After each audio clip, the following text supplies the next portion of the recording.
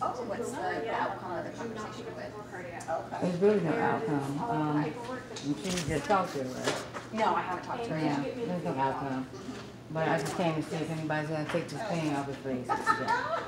Because they, uh, they're basically talking about, uh, I guess a report from April of last year. So it was about drugs. They see there's no drugs in the, her or the baby system, so we're pretty much, pretty much done. So is somebody gonna take this thing off, or we're gonna have to do it the hard way? Okay. What was that? I'm sorry. I wasn't, I wasn't talking to them. That's okay, I'm the director, so you need to talk to me. So what are you I planning? need to. Well, I'd like to know what your plans are, We're ma'am. getting ready to go. She's, she's getting Your ready to go baby home. cannot go, right? Let me, Or they I- said they could. Look, I'm not, we're not waiting any longer. I mean, if they don't have a court order to hold this baby, we're gonna go home. So either somebody's gonna take this thing off, or I'm gonna take it off. So what are we doing?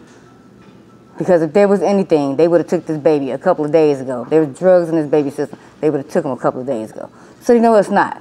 So let's go. Is somebody gonna take it off, or are we gonna have to do this? Okay, that's not necessarily true that they would have taken it in two days, because they let mommy bond. No, Here's my reality for the hospital. I cannot release the baby as long as the state and DCS are telling me it has a hold. If they want to come right now and you want to go home and take care of whatever this issue is for a home visit, that's great. Otherwise, you're, They're talking- patient can go home, but the baby cannot go home. But who says he can't go home? DCS. They said their policy is suggesting that they need to come to the house. There's no legal reason for them to be holding her and her baby here. Did, what did they say to you? what, what they They said said Policy. was that- Policy.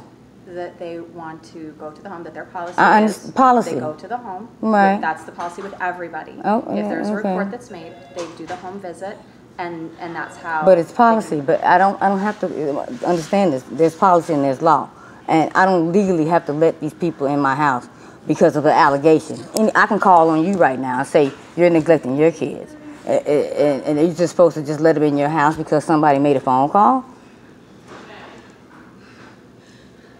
What I think they're trying to say is to get this resolved, I understand that, but it's already resolved because it was an issue of drugs, and they see there's no issue with drugs. So it's but the resolved. investigation's not closed yet until they do that home visit and they tell Well, I'm, you know, but this is their policy.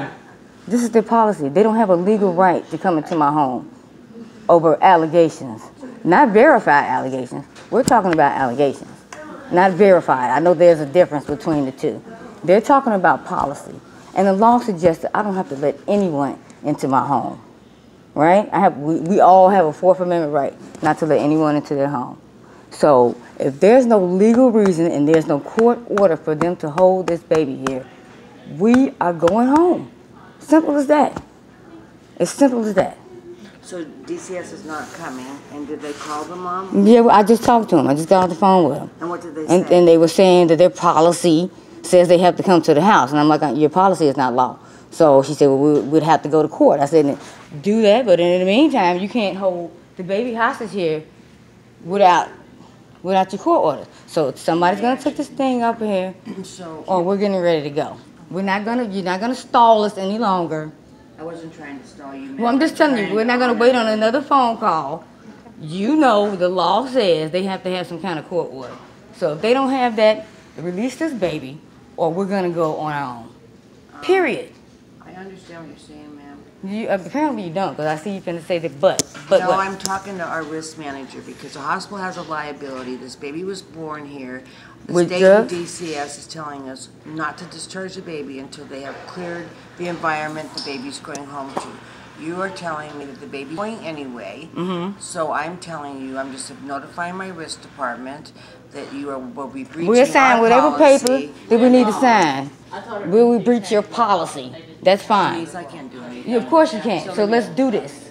I can do something, but I'm not Well, look, willing just, to just, do just come on. We're not gonna sit here forever and wait on you guys. I've been here for two hours and I'm ready to go. Uh, Tuesday. I'm ready to go. We were trying to do the best thing for the Okay, I, patient. look, apparently not. I only called down here. I'm not Yes, gonna fight so, this anymore. um, I'll be in in just one minute, okay? I've got another What's going on situation. down So that lady. That was a rapid upstairs. It was Yeah. her boyfriend that failed, so I need her out. Let me discharge it from the You system. take care of this and I'll take care of this. They just needed her to, to step out, so she came down and see her daughter had a baby yesterday, so she didn't, yeah.